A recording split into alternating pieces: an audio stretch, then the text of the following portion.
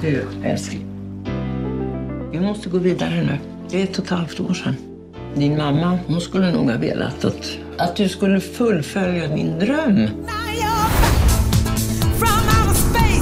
Men hade du velat stå där? Ja, det. Men eh, sånt i livet, det blir inte alltid som vanligt.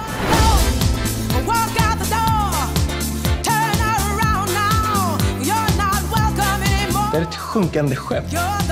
Nej, men du sa att du behöver en dansare och dansa kan jag. Hur har du tänkt dig? Inom drag har alla liksom som sin egen nisch. Det är typ som ett alter ego. Vissa är comedy queens, andra är fashion queens. Men du kommer definitivt att vara en dancing queen.